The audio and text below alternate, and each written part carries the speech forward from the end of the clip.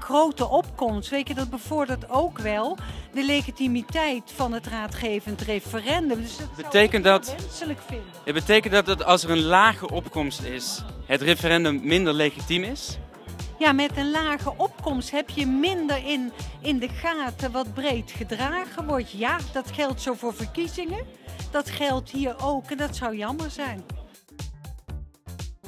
Als studenten er blijkt mogelijk heel anders in staan dan docenten, of hoogleraren anders dan promovendi, is het ook goed om te bedenken wat je met elkaar kan doen om aan een aantal zaken tegemoet te komen.